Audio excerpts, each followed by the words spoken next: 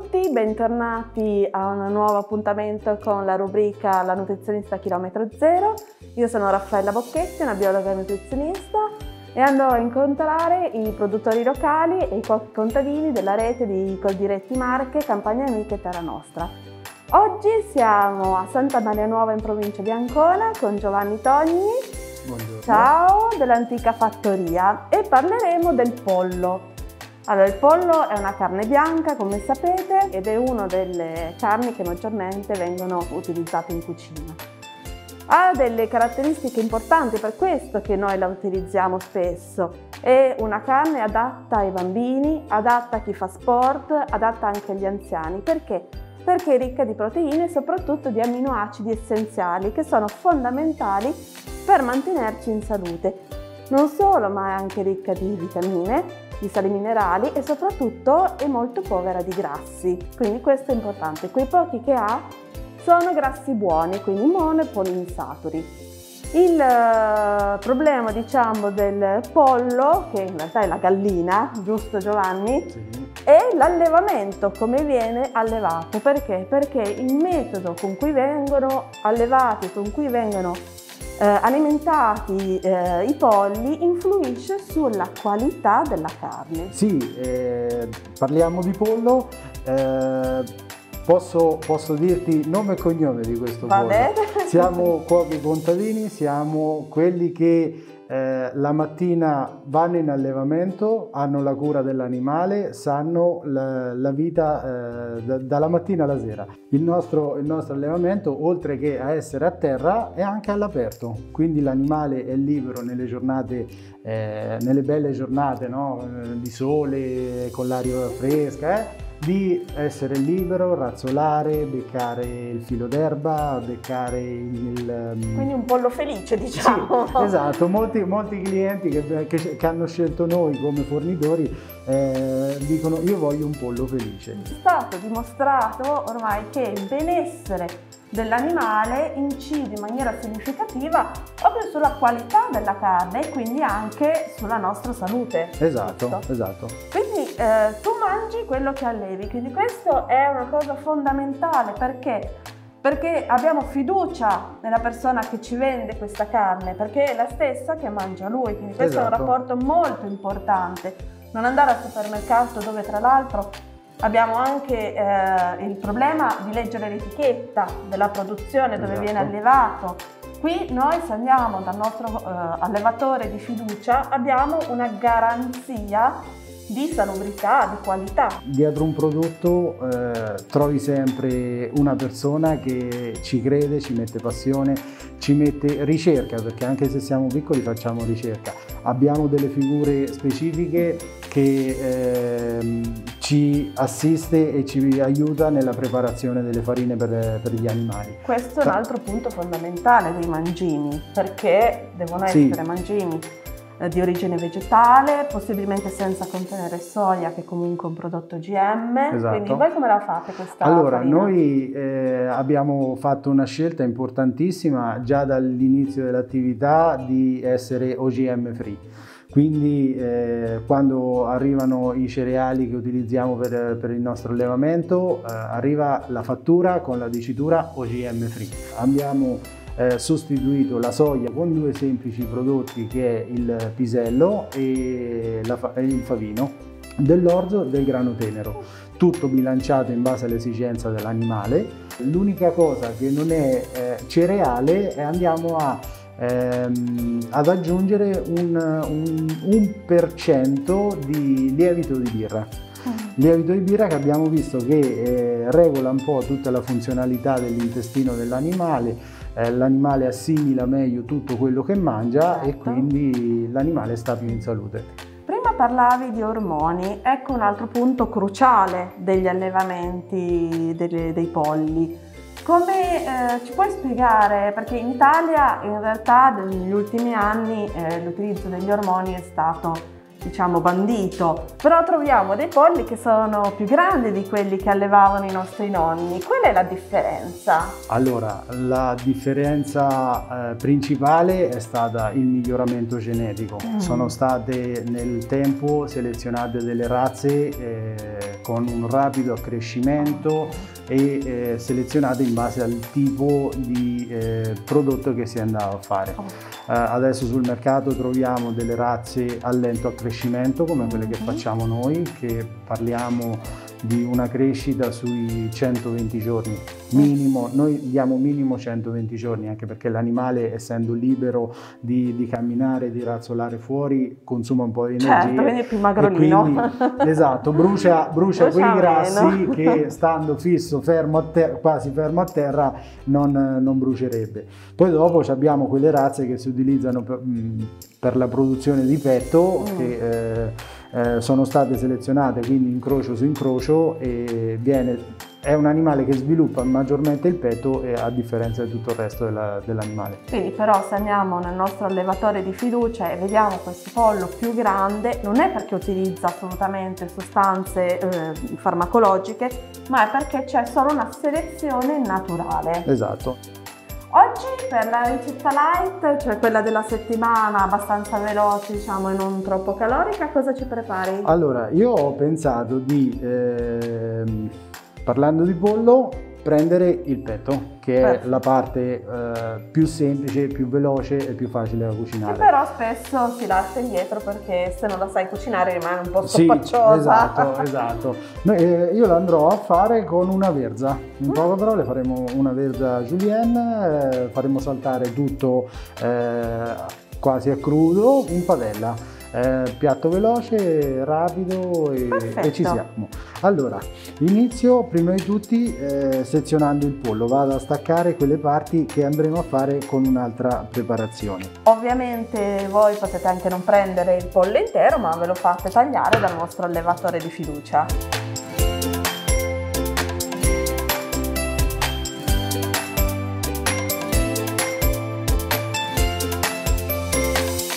Allora. Direi che il petto io me lo farò sempre tagliare perché non è per me. allora, adesso andiamo a finire di spezzare le ultime parti. Allora, con questa parte che non penso tu possa utilizzare per cucinare, che cosa fai? Allora, io di solito con questa, con questa parte qua consiglio di fare un brodo. Quindi non buttiamo via niente. Non, e tutto quello che ci rimane della cassa lo possiamo mettere in un, ehm, in un tegame, una pentola con eh, carote, eh, patate, sedano, però state attenti che il sedano è un allergene e quindi eh, bisogna, bisogna, dosarlo bene per chi eh, ha problemi certo. e ci andiamo a fare il, questo brodo e lo mettiamo qui da parte. Noi oggi andiamo a, utilizzare il petto, togliamo l'osso, lo sterno, questo possiamo mettere tra i vari pezzi eh, per fare il brodo e andiamo a staccare la pelle dal petto. Diciamo che la pelle è l'unica parte del pollo che è un po' più grassa, un po' più calorica, quindi è vero che dà tanto gusto, ma magari durante la settimana in una, una ricetta un po' più light la togliamo andiamo a staccare il filetto, il filetto ah. vado a eh, prendere la verza, la taglio a metà perché che è del così. tuo orto immagino? Sì, eh, del, del, mio orto o delle aziende con cui collaboriamo, quindi andiamo a togliere il cuore, quello che è un po' più duro. Certo, ricordiamo che la verza è uno di quegli alimenti che aiutano l'intestino, la regolarità, la funzionalità sì. dell'intestino, quindi è molto importante durante l'inverno consumare questo tipo di prodotti. Andiamo a tagliare la verza tutta a listarelle. Ok, alla julienne come si sì. dice. Abbiamo messo la verza in padella. Io l'ho messa al minimo in modo che così eh, la verza appassisce piano piano e appassando piano piano tira fuori tutti i suoi succhi, tutti i suoi liquidi e, si, e andrà a fare una prima cottura nel, nella sua acqua. Nella sua acqua esatto. Vediamo che ancora non avendo aggiunto niente la, la, verza ancora è croccante di suo. Nel frattempo che la verza appassisce andiamo a preparare il petto. Andiamo a tagliarlo tutti a pezzetti così. A striscioline. A striscioline, esatto. A straccetti, come a si straccetti. dice. Eh, lo straccetto possiamo andare anche più piccolo Ah. e così velocizziamo anche di più la cottura. Bene.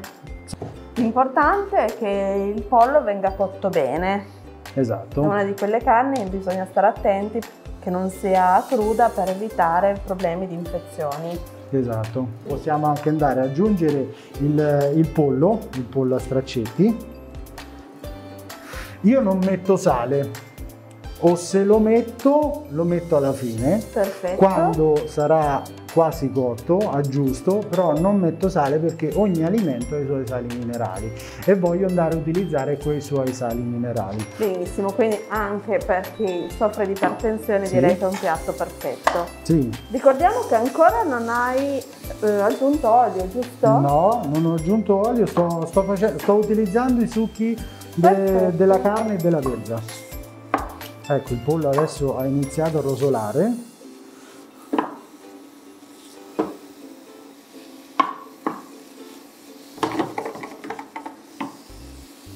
Ok, adesso che ci siamo, che il pollo ha rosolato bene, andiamo a sfumare con del vino bianco secco.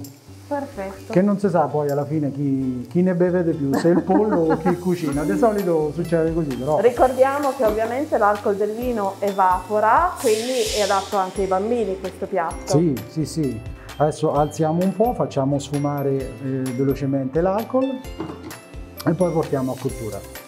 Allora, una volta consumato il vino, possiamo utilizzare un brodo di pollo che abbiamo fatto con, eh, con la carcassa, le ossa che ci sono rimaste di, di quando abbiamo preso il pollo. Ok, Se- E se non abbiamo tanto tempo per preparare il brodo? se non abbiamo molto tempo mi lanci un assist fenomenale eh, possiamo utilizzare un brodo già pronto che è un'idea nata nel periodo di quarantena eh, dove non ci, siamo, non ci siamo messi a piangerci addosso ci siamo Giusto. rimboccati le maniche e abbiamo deciso di fare tanti nuovi prodotti prodotto sano a chilometro zero eh, pensato per chi non ha tempo di cucinare quindi eh, noi adesso vediamo che il vino è finito.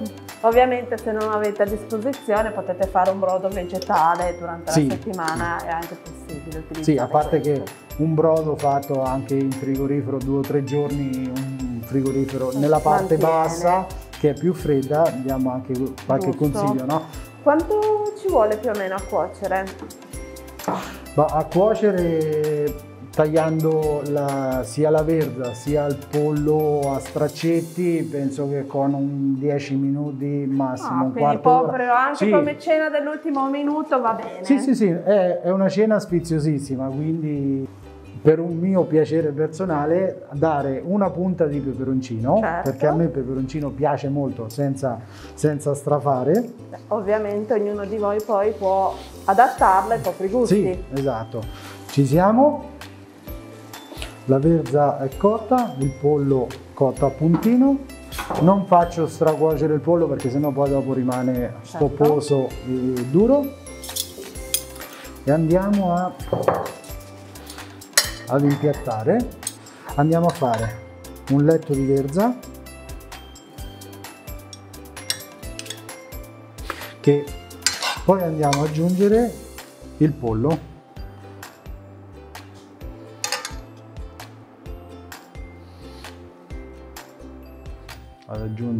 Sale, giusto un po', un altro pizzico di pepe e giusto per un piccolo sgarro Ma ricordiamo che l'olio crudo fa bene, ha tantissime caratteristiche nutrizionali importanti. La differenza è che quando lo cuociamo i grassi buoni si trasformano in quelli cattivi e quindi è meglio sempre utilizzarlo a crudo. Noi abbiamo fatto in 15 minuti, quanto ci abbiamo Certo. messo, massimo 15 minuti, una verza con pollo ehm, aiutati col brodo. E dopo la ricetta light che possiamo fare durante la settimana, Giovanni ci propone anche una ricetta della domenica un po' più sfiziosa, un po' più complessa, giusto? Sì, esatto. Sempre andando a prendere le parti del pollo, quelle che abbiamo messo da parte prima.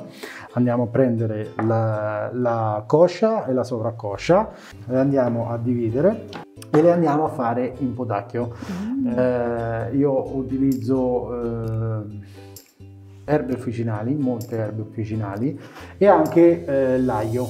L'aglio si potrebbe mettere in camicia, solo che a qualcuno l'aglio dà fastidio, allora che faccio ultimamente? Lo vado a tagliare a metà, in modo dalla parte dove ho l'anima e lo vado a sfregare sulla padella. Ah, perfetto. In modo che do il profumo ma non rilascio più di tanto olio essenziale. Prendiamo il brodo eh, come prima, lo utilizziamo al posto dell'olio, siccome eh, quando ci, si fa il brodo eh, noi lo facciamo non filtrato, quindi potrebbe rimanere anche qualche piccola parte. Mettiamo la carne che abbiamo spezzato, alziamo e facciamo rosolare. Adesso gli diamo il tempo che, eh, che merita. Nel frattempo che la carne rosola ci andiamo a preparare le erbe aromatiche. Io utilizzo le, eh, la salvia, niente di secco, di liofilizzato o nient'altro, gli aghi del rosmarino,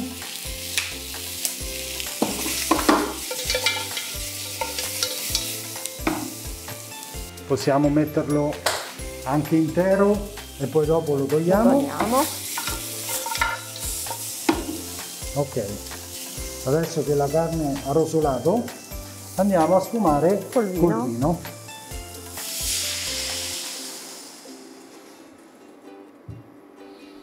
Questa è una ricetta che io la ricordo, eh, penso da, da quando ero bambino, non dico quasi tutte le domeniche a casa, era pasta fresca fatta a mano, pasta all'uovo e eh, il pollo in potacchio. Il Quindi pollo, questa è una ricetta tradizionale? Sì, esatto, il pollo o il coniglio, adesso mm, dipende da, da, dai gusti che noi abbiamo. Certo. Allora, noi di solito, di tradizione, andiamo a utilizzare eh, il pomodorino classico no? che mettiamo su a crudo un po' per lavorare sull'acidità. Adesso non, eh, non, non, non ci sono, non sono di stagione. Andiamo a mettere una cucchiaiata di, di polpa di pomodoro. Mm. Facciamo continuare a rosolare il tutto. Portiamo a cottura con il brodo. Perfetto. Quanto ci vuole per la cottura? Beh, questa è, una cottura un po' più lunga perché noi lo, lo metteremo con il coperchio, eh, lo metteremo a fuoco modo che cuoce, tranquill cuoce mm. tranquillamente e fa una cottura un po' più lenta. Siamo arrivati al giusto punto di cottura. Guarda che spettacolo, che bella doratura. Possiamo accompagnare questo piatto sia con dell'insalata, magari della gentilina, oppure delle verdure di stagione cotte. E andiamo a mettere un po' di sughetto, un po' di salsa di pomodoro. Perfetto. E il piatto è pronto. Ringrazio Giovanni per averci ospitato. Grazie a voi. Vi ricordo che le ricette e le video ricette le trovate sul mio blog www.lamiabiologanutrizionista.it e sui social di Coldiretti Marche, Terra Nostra e Campagna Amica. Arrivederci alla prossima puntata. Ciao e buon appetito.